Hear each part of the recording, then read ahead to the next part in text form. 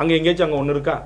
உதாரணத்துக்கு குவைத் நாட்டில் மலையாளிகளுக்கென்று மலையாள அதிகாரிகள் துணை தூதராக நியமிக்கப்பட்டு அவங்களுடைய பிரச்சனைகளை கையாளுறான். ஆனால் குவைத் நாட்டில் சென்று பஞ்சம் உழைக்க போன நம்முடைய தமிழ்நாட்டு தமிழர்கள் அவ்வளோ அவதிக்கு உள்ளாக்கப்படுறாங்க ஒருவர் உடல் இறந்துட்டா அதை கொண்டு வரதுக்கு மாதக்கணக்கில் ஆகுது. அதை கொண்டு வந்து சென்னை விமான நிலையத்தில் இறங்கினா அதை எடுக்கிறதுக்கு லஞ்சம்.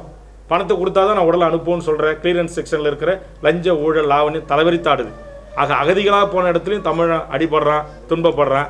இங்கேருந்து கடல் கடந்து உழைக்க போகிற இடத்துல Dubai Abu Dhabi Singapore Malaysia Kuwait அரபு தேசங்கள் எல்லா நாடுகளையும் மிகப்பெரிய துன்பத்திற்கு அவர்கள் ஆளாகிறார்கள்.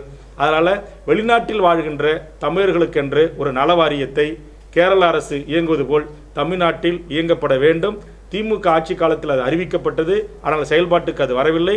தமிழக அரசு புலம்பெயர்ந்த நாடுகளில் வாழ்கின்ற தமிழர்களின் வேலைவாய்ப்பு உரிமையை பாதுகாக்கவும் அவர்களை பத்திரமாக தாயகத்திற்கு ஏதாவது இன்னல்கள் துன்பங்கள் வந்தால் பாதுகாப்பாக கொண்டு வருவதற்கும் இறந்தவர்கள் உடல்களை எந்தவித செலவும் இன்றி பெற்றோர்கள் கைகளில் ஒப்படைப்பதற்குரிய நடவடிக்கைகளையும் எடுப்பதற்கு ஏதுவாக தமிழக அரசு போர்க்கால அடிப்படையில் இதற்குரிய நடவடிக்கைகளை மேற்கொள்ள வேண்டும்.